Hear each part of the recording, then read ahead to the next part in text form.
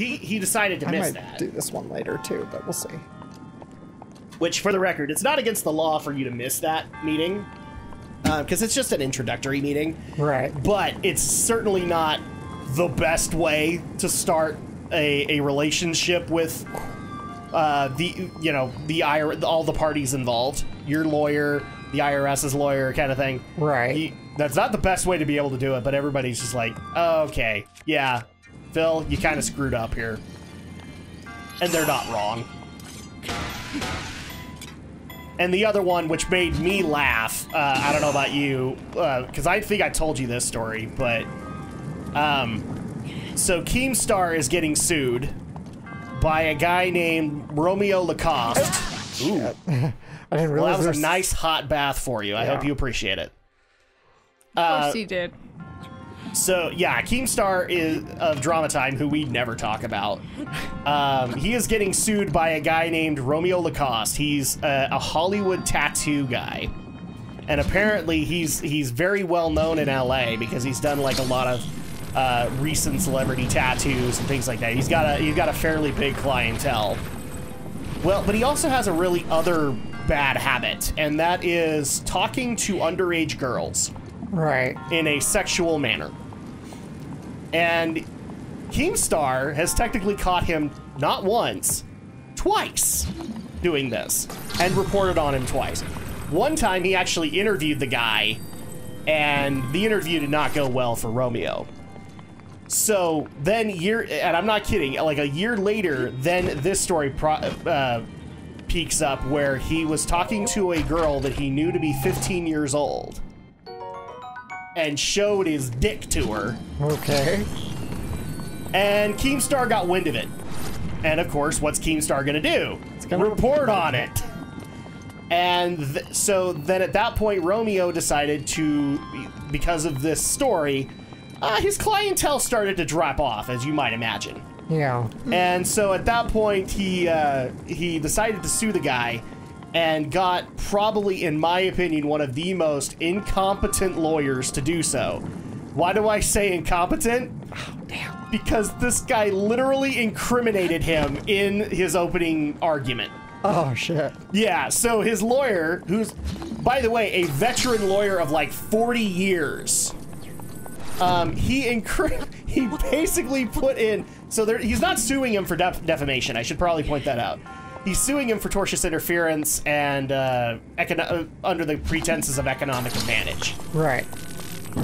And one of the the reasons he cites uh, the loss of clientele is that his client was having a heated conversation of a sexual nature with a woman who he or with a girl he knew to be 15 years old. That's how he worded it in the document. Oh wow. Is it just me or do, I mean this guy's dead, right? Dead to rights. Yeah. Like he's gonna have federal marshals knocking on his door, or at least state police. It's like, yeah, this was not a wise idea for you to do at all, and it, I've just been giggling at that the whole time. So you're suing Keemstar for doing his job, and you decided to incriminate yourself in your own documents. I think you should fire your lawyer. Yeah. Fire your lawyer. Oh my gosh, Let's see. it's ridiculous that you did that. Oh, I, I'm trying to remember like the ins and outs of this one I don't. because we can't use stasis and magnesis at the same time. Yeah. Um,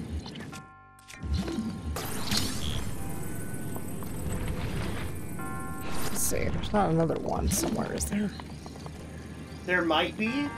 Oh, it's been a while. I know this. I know this trial. I just can't remember. I couldn't remember if you had to slide the ice cube through. Yeah, but I gotta. I gotta block the fire still. Yeah. But I don't have a weight. I don't think I can just push. Is there? Okay. I, I'm probably. I'm probably. Wait, wait, wait. here. What, What? if you? What if you um put that on top of the? Oh, never mind. No, never mind, because it's gonna fall. Yeah. I can't. Okay, I'm smoking crack here. Is there a way for us to stop the fire? Like, can we use an ice arrow on them and then they'll temporarily stop? No, there's no Okay. way. Um, let's see. If I, I think Oh. Oh, never mind. So This is not metal. I can try. Not that. I was gonna say, like, why don't you magnesis the ice cube over to the other side? But no, it's not metal. But maybe if I do this, if I. I really.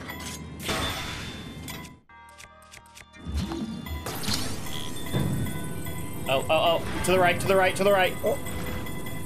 Yeah, I was gonna say, it's gonna bounce off the right wall. Ow! Oh, It was worth it! that was.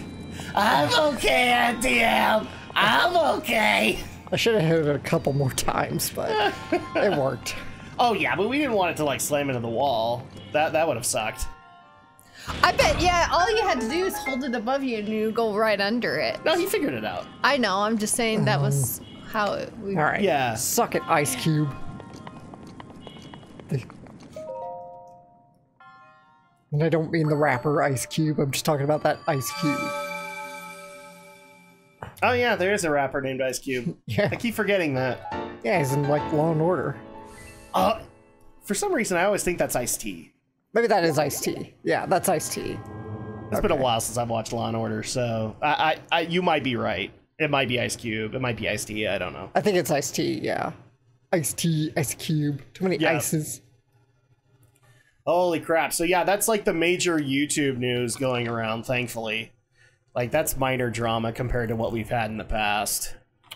That's kind of one of the the interesting aspects of being quarantined. Is like, you know what? Drama's not really happening right now. I think if it, I think if the dra- if the quarantine extends into the summer, we might start to have some. Yeah, we're But that's just because of cabin fever. Yeah. People are going to be so irritated of, of seeing the same four walls. Yeah, but if we just keep it up, then maybe this whole thing will eventually die down, and then Yeah. maybe we can. That's the idea. Well, That's the And s- hope, anyway. and still nobody contaminating everybody with it. oh yeah, that's heat resistance. Oh god damn it! You need cold resistance. Chili simmered fruit. Uh, I didn't see any. I think I used them all. Yeah, you're gonna have to deal with it for Yeah. now. Let's see. Like, I'm- where's your where's your destination? Well, I'm just trying to head towards Rito, next towards uh, Tabantha, really. Oh, okay. So you're going to the Tabantha region. All Yeah. right. Um, actually, b- bring down the map. Uh, No, no, no. I, I mean, zoom into the map. Okay. Like this, and and then then- bring up where you are. Well, you know, I got a shrine over here. Just warp Second to- swing. No, I don't want to do that one right now. Oh, okay. Um, I think it might be. I'm yeah, this is like the close. Rito area, but I think you'd be close to not the the one that's on your map, but the next branch That's or the stable. Because I think I'm getting. Glide! Let's see. I think think I'm getting okay, into though. into the re- about the right region though. Yeah, no, you, you're you're getting close. Let's shield, sir. do do do do do do do do do. I'm I'm doing the best music that I can possibly do. Do do do do do do do do do. You know, gotta like strum the guitar really. Join me and we will escape from the city. I'll make it through to prove it to you. Follow me. Oh yeah. And now we get a copyright strike because how dare we mix Sega and Nintendo? Follow me. Holy moly. Or one of them will send the Yakuza after us. No, that's Konami. That's Konami. What? I don't know. It's, uh, I think there's reason to believe that both both companies have probably some ties to organized crime at some point. Nintendo's been around for 130 years. You need to tell me. Probably. I, I would be more in the camp of Sega, though. Well, yeah, I mean, because I, saw I saw Because Sega's made a lot of mistakes, and for some reason, the company doesn't die. It's true. but I mean, Nintendo's been around for 130 years. They started off with uh, Hanafuda Yeah, you should be really cards. close to a ranch right now. Yeah, I'm on my way, so it's good. Oh, crap. It's it's Alex's archenemy, The Rain. rain. The rain. But yeah, Nintendo started off with with playing cards, so I'm like, you mean to tell me in all this time they've never made some ties to organized crime? Crap, it's like Uh, I mean, I I can't argue. I, I, I, I, I can't argue this. Stop it. I know. They're they're the cute and cuddly side of the mafia. They're like, oh, don't worry, we're just gonna put you in cement shoes after you do your cameo. But by that same token, uh, they, uh, they used to have to like ship in in Japan. They'd have to ship out the Super Famicom in the middle of the night, just because if they shipped it during the day, Yakuza would hijack the trucks and steal them. Yeah, yep. Uh, and that's not the only time it's happened either. You're, like, like big releases Yakuza. get that. Yeah, they are. Wow, how are we talking about Yakuza right now? Because I saw a video over the weekend. No, the reason I say that is because we actually have somebody who joins our streams regularly who has been pitching for us to play Yakuza for the longest time. It's like you guys, you need to totally play. You need to totally play Yakuza because uh, Kazuma Kiryu and Goro Majima and, and and like literally like we we get uh, and and nothing against this person. We love you dearly, but every Oh, okay. stream they are mentioning Yakuza almost like try and psychologically get me to go, huh, I need to play Yakuza. Ow, fuck. Come here. We finally kind of had to knuckle down and, Come on, and say like, okay, maybe get outta we'll here. play it. Maybe we'll play it. I'm a little worried because everything that I've read says that Yakuza is basically GTA. And I just am not into those games anymore.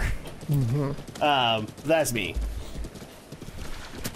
But yes, you, we, we're you are technically right. They could both be run by the Yakuza, and maybe that's why the, Konami has the connections they do now. Maybe not ran by them, but just have Yeah. ties to them. Oh, shit. You lost your horsey. So, So, anyway, oh, Okay. yeah. Uh, God. Anyway, uh, yeah. I'm, I'm getting tongue-tied. I don't know why. Cause I- I there's- don't know why Because there's moblins chasing me. I'm on a horse. I don't know where I'm going. It's all, it's all mysterious, and there's clips everywhere. it's all good. Anyway, so yeah, I saw a video over the weekend about some of. A, it's a story that from quite a few years ago, from like 30 or something years ago now, Uh-huh. about a about a game developer from a certain rival company that probably that got probably got kidnapped by the yakuza, Uh huh. uh, or like their sister got kidnapped just so that they could get a leg into the market. I It sounds familiar, Yeah. but I don't remember the company. Yeah, I mean, nobody's really sure because nobody's actually said one way or the other, but there's a lot of reason to believe Sega might have. s- It wouldn't have been like the big. Co- uh, I will say this at least: it wouldn't have been the big console makers because those guys are popular enough in Japan that that would be a thing. Well, keep in mind, this is still roughly the time that the Sega Master System was out. Yes, but what, The what I'm saying Master is, if it was was Nintendo, um, I think it was Sega. if it was yeah, because if it was Nintendo, the CEO would have been known. Like that was before Iwata got brought in as president, and the other, the other one, I'm, I'm not thinking of his name off the top of my head, but um, that guy, because he was like there when they started as a playing card company, he had gotten a lot of ties. Oh yeah, Yamauchi. Yamauchi-san. Uh, Yamauchi had had lots of ties, and I think even his sons, who think one of them works for Nintendo, but one of them like has all the connections that his dad used to. Oh, no doubt. So yeah, Hundred, like I said, 130 years. They've had a lot of time to dabble in many industries. They gotta have made some ties. but if you think about it. Sega probably has ties to the Yakuza because then at that point, how they ha- how how would the Yakuza game look so realistic? yeah, apparently they very are realistic. They're very. The only thing I know about the Yakuza series is that um, a lot of the Shenmue team, when uh, Shenmue 2 was done and, and um, the creator was not looking to do 3, they weren't going to give him the money for it, Right. they moved over to Yakuza. Uh, it- that's why, in a lot of cases, Yakuza actually has familiar, from what I've been told, familiar mechanics with Shenmue. So, I'll take your word for it. I've never played them. That also explains why there hasn't been a Sonic game in a while. So, Well, there's there's still talk that we'll get an, an adventure remaster.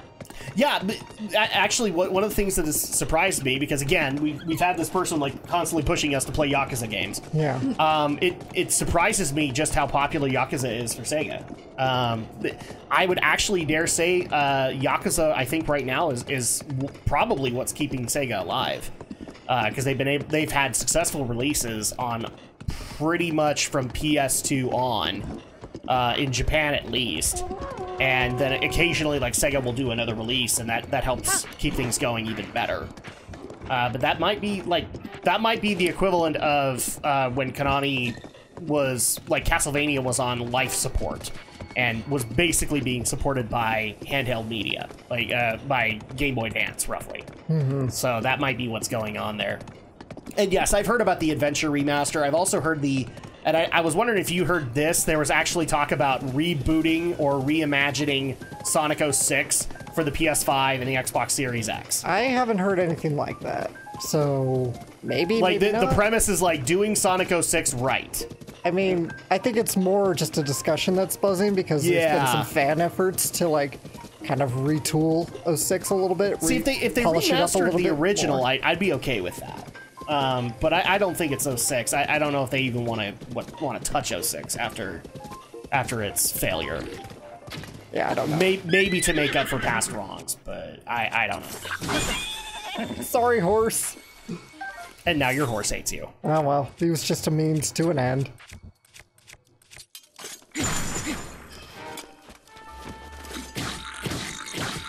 Ooh, you got a big hearty radish. Yeah. Run, horse, run, run, big blue. Big blue. Oh, he's blue. So Yeah, he is, get- he's like a bluish gray. I'll, I'll give you that. I will. Gi- I'll give you that one a at the very least. frog. Oh, blue. Um. So so yeah, we talked about the adventure remaster. Did you actually? I, I was actually going to ask you. Uh, we'll probably talk about this on the podcast too. But did you see the recent announcement from Nintendo?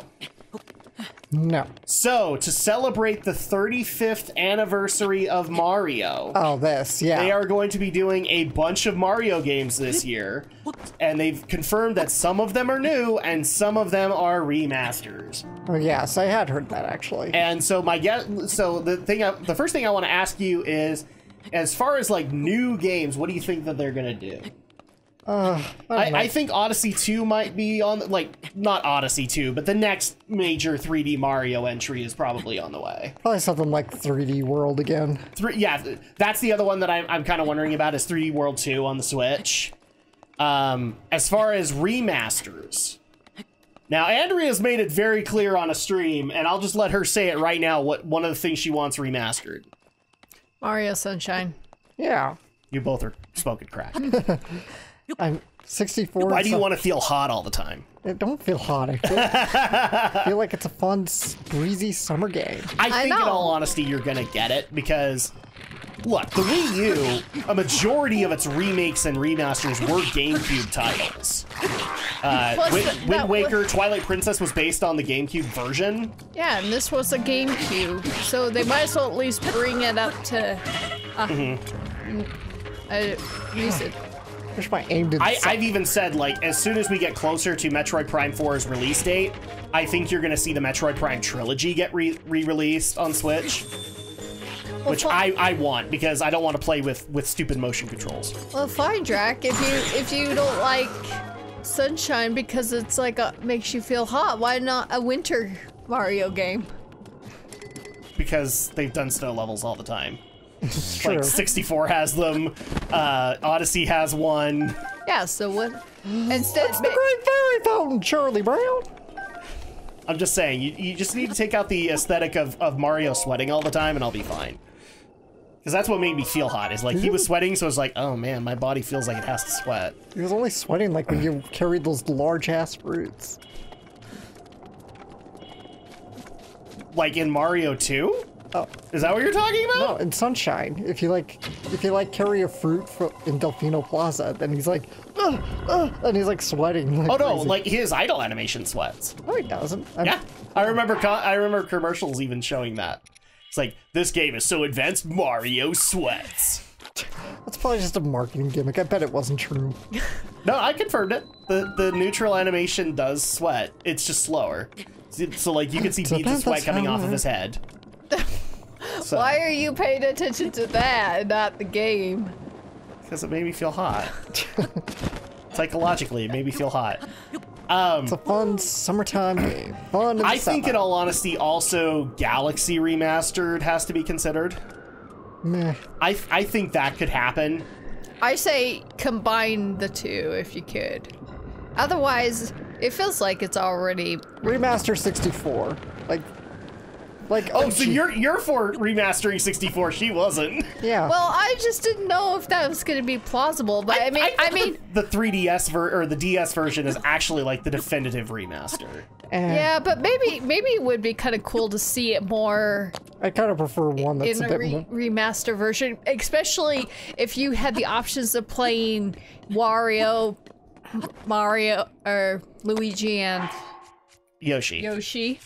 I prefer it to be more like just OG 64. Well, it wouldn't be OG 64. It'd be remastered. I mean, you get what I'm saying. if they'd want to do that in like the Odyssey playstyle, I wouldn't mind it. Not not like the whole possession thing, but like op- open open world. And you just go and, and instead of like having to assign the stars, if you could just go out and and get them like you could the moons, then I'd be okay with that.